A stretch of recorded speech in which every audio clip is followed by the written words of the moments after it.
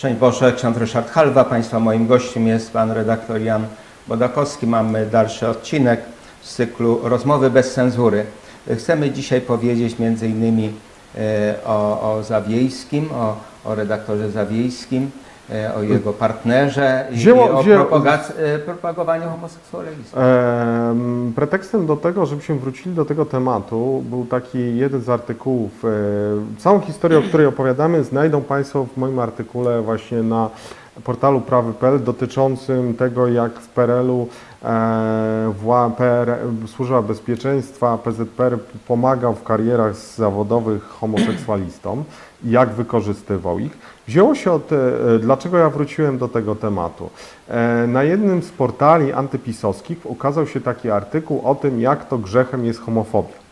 I między innymi tam się pojawił taka ckliwa opowieść o tym, jak to prymas e, Wyszyński e, był znajomym e, znanego literata, z, literaty Zawiejskiego.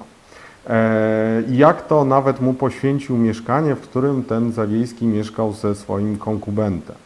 E, I mi się zapaliła czerwona lampka, bo ja m, pisałem na ten temat już parę lat temu i e, na podstawie doskonałej książki Joanny Siedleckiej właśnie o e, życiorysach pisarzy w e, PRL-u. E, Ja tu czytam w tym antypisowskim portalu o tym, jak to, e, jaki to wspaniałą postacią był e, ten, Zawiejski, tak, tak. Zawiejski.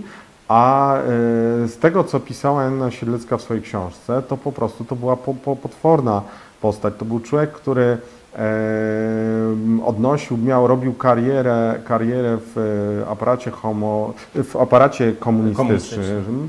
E, Był zadeklarowanym homoseksualistą. E, Jednocześnie robił za tak zwanego katolika postępowego.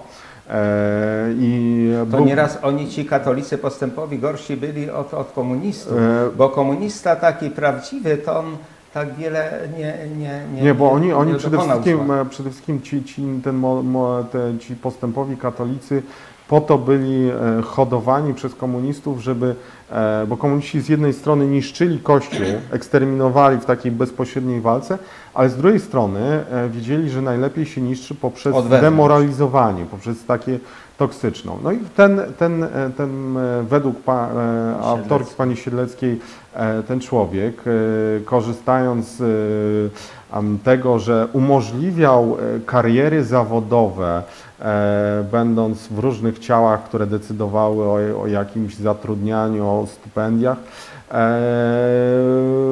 i dzięki temu, że miał wejście do różnych instytucji ko kościelnych, demoralizował i wykorzystywał seksualnie kleryków, księży e, i, i taką patologię, patologię szerzył.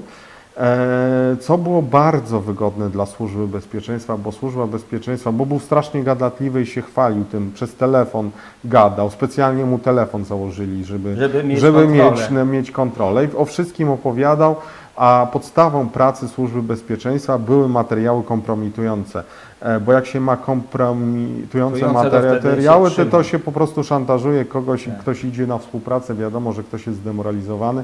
I tak e, Służba Bezpieczeństwa budowała swoje struktury. E, tutaj odwołam się właśnie do tego, e, jak się ten autor o, filmu o księżach pedofilach nazywał? E, Sekielski. Sekielski. E, W tym filmie wszyscy księża, ci pedofile, homoseksualiści byli tajnymi współpracownikami. O, no tym on nie właśnie, mówi, no właśnie. ale e, Czyli to państwo, nie byli wierni księża, nie byli tylko wierni, tylko e, prawdziwi. pa, pamiętajmy o tym, że po prostu Zdrajcy. służba bezpieczeństwa te patologie jak pedofilia wykorzystywała do tego, żeby mieć kontrolę nad tymi ludźmi, zezwalała im na, na, na e, relacje, nie nagłaśniała tego, że niektórzy ludzie są homoseksualistami, po to, żeby budować swoją agenturę.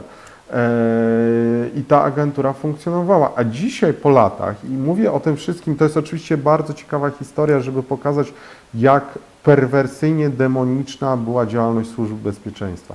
Ale mówię o tym wszystkim dlatego, że dzisiaj ci ludzie są e, dalej wynoszeni, którzy, którzy moim zdaniem po tym, co napisała na Janna Siedlecka, są po prostu całkowicie skompromitowani i nie powinni być wynoszeni na, na, na piedestał, to przez środowiska antypisu w ramach tej tęczowej rewolucji oni są nagłaśniani. To I to jest przerażające i dlatego warto yy, często na przykład sprawdzić, jak czytają Państwo, słyszą Państwo, że taką informację, że tu prymas Wyszyński kogoś, kogoś yy, z kimś miał dobre No relacje. jako z człowiekiem, E, jako no, z nie, człowiekiem, nie miał dobrej ale, wiedzy. ale y, y, nie miał wiedzy, którą miała służba bezpieczeństwa. E, I warto wiedzieć, że ten człowiek po prostu był zły i wykorzystywał swoją pozycję, bo trudno, ja rozumiem, że można mieć jakieś e, e, złe namiętności, ale człowiek, który ma złe namiętności i chce być w porządku, to po prostu ich nie realizuje,